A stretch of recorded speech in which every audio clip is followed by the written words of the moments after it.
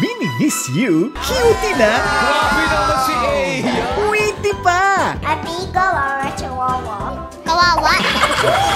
Tuloy sa weekly finals ang pinagsanib nilang puwersa. It was very obvious na nag-e-enjoy talaga kayo. This Thursday, sagot ni na Jim and Buboy ang masayang kantahan sa panangalian. 14 years na namin ginagawa dito yan. Mag-attract ng winning energy. Saka nanalo ko, ang ganda ng energy. It's showtime!